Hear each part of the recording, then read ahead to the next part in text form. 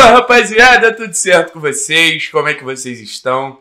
Boa sexta-feira para todos nós, que a gente consiga ter uma sexta-feira calma, tranquilo, porque amanhã já tem jogo.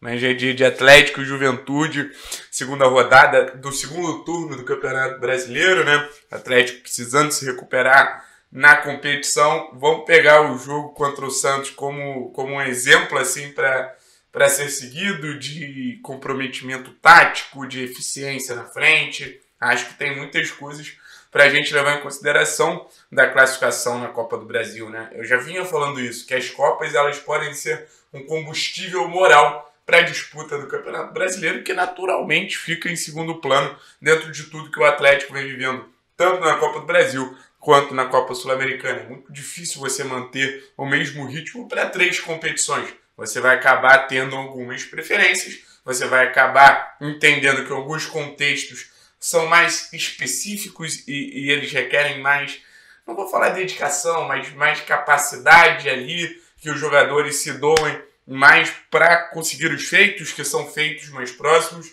Mas a gente também não pode abrir brecha no Campeonato Brasileiro para se aproximar de umas zonas que a gente não quer estar perto, né? Ninguém quer estar perto da zona de rebaixamento, ninguém quer se afastar do G6, do G7, do G8, sabe? Porque ainda existe a possibilidade de dar ruim nas Copas e a gente tem que olhar para o brasileiro como um plano B.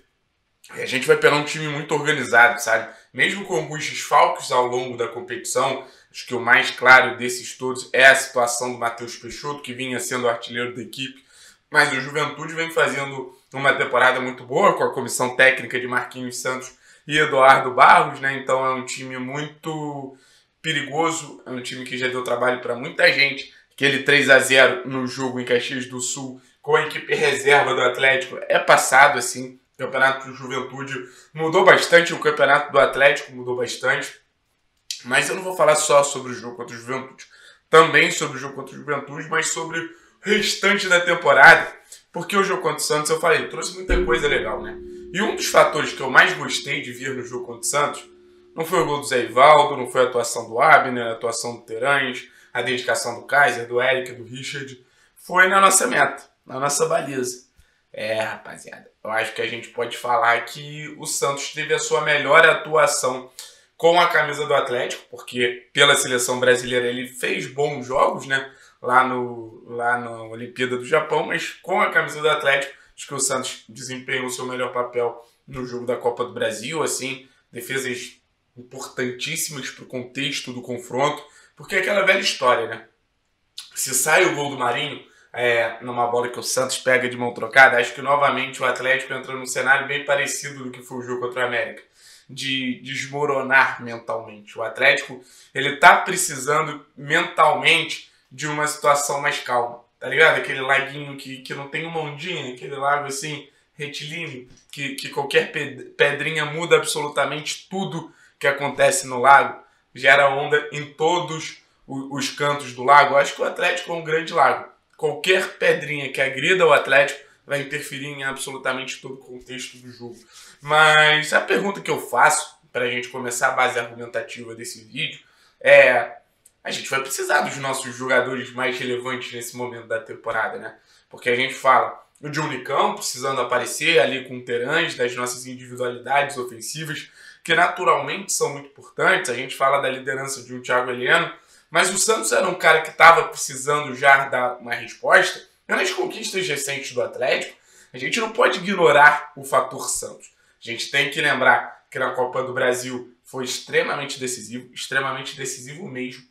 Duas cobranças de duas disputas de pênalti. Ele pegou mais que duas cobranças de pênalti, né? do PP contra o Grêmio, de vários cobradores contra o Flamengo, principalmente aquela bola que ficou marcada do Diego, que ele fica no meio do gol. Então, é um fator de desequilíbrio. A gente sempre fala que no futebol a gente está em busca de vantagens.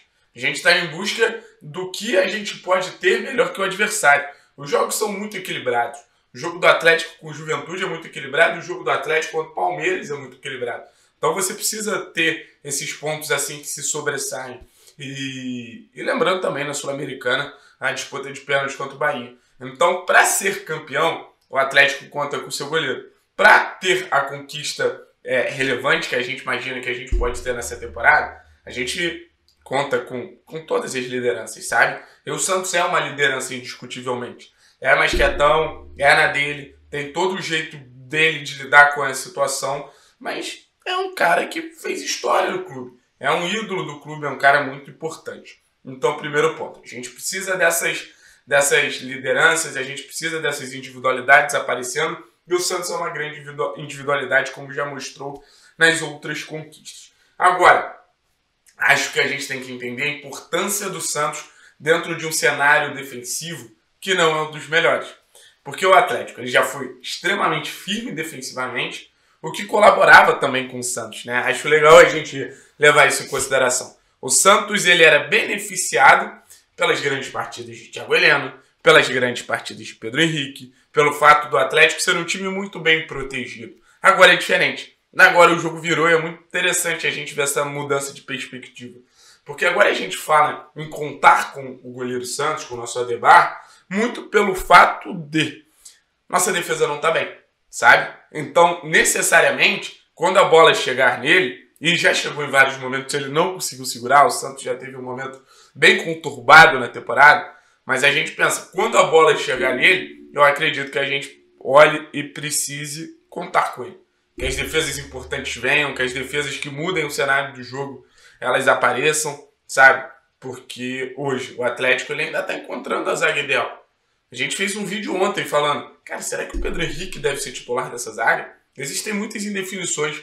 O cenário defensivo do Atlético ele deu uma desandada muito considerável.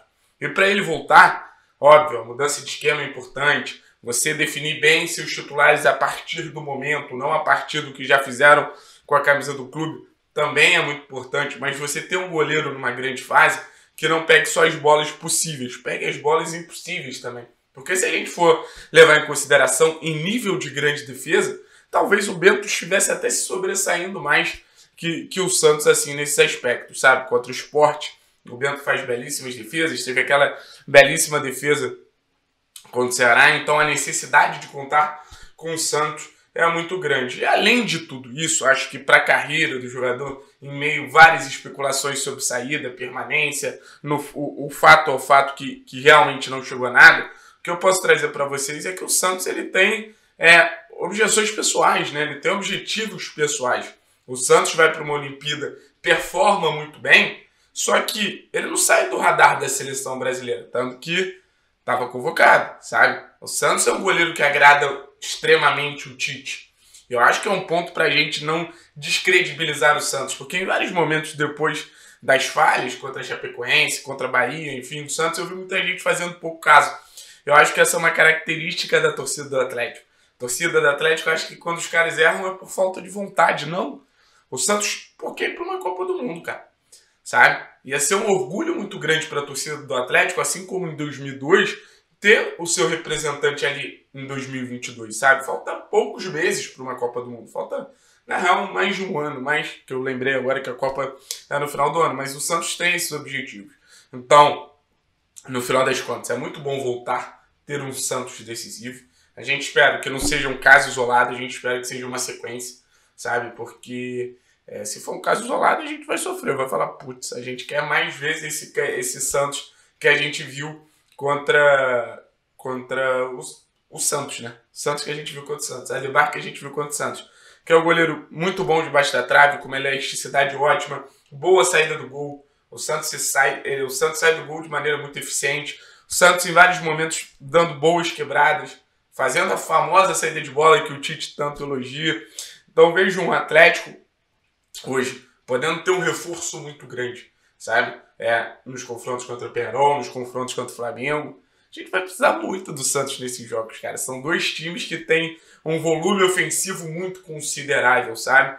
Então é, é para se comemorar, é para se festejar quanto mais jogadores a gente tiver em boa fase nesse momento da temporada, é melhor, sabe? Porque o momento de oscilação, eu não sei se eu estou empolgado com o jogo contra é, o Santos, a classificação na Vila Belmiro, mas eu acho que, que essa questão da má fase ela passou e agora a tendência é a gente ver jogadores voltando a subir, tá ligado? A gente voltando pelo menos ver o lago tranquilinho, tranquilinho, e para isso a gente precisa das nossas principais referências. E menor dúvida que o Santos é uma dessas principais referências, né? Então, momento da defesa, é, importância pro, pro grupo, sabe? Porque o Santos não tem só uma importância ali debaixo da trave.